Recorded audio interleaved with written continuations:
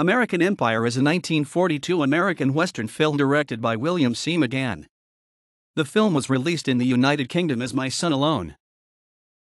Two men join forces to build a cattle empire and battle rustlers, bad weather, and each other.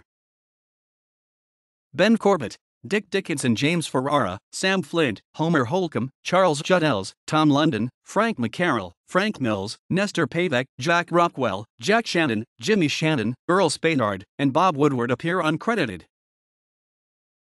Cliff Edwards, Little Pal, written by Lou Pollock.